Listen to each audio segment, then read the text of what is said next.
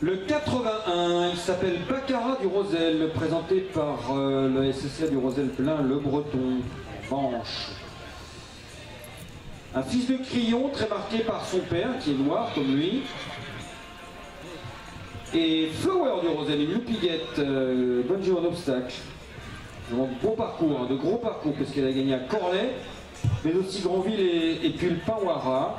Et euh, Flower du Rosel, c'est la sorte d'un bouche le cross, un Nike du Rosel, cheval très impulsif, qui, allait vraiment, qui était vraiment de l'avant, comme ça, qui sautait très vite, les bons chevaux de cross chez Jérôme Follin, qui a gagné 8 courses, et notamment le Grand Cross de Peuermel. En mai 2010, euh, il a aussi gagné le Grand Cross du Pinwara. Enfin, il a fait une très belle carrière.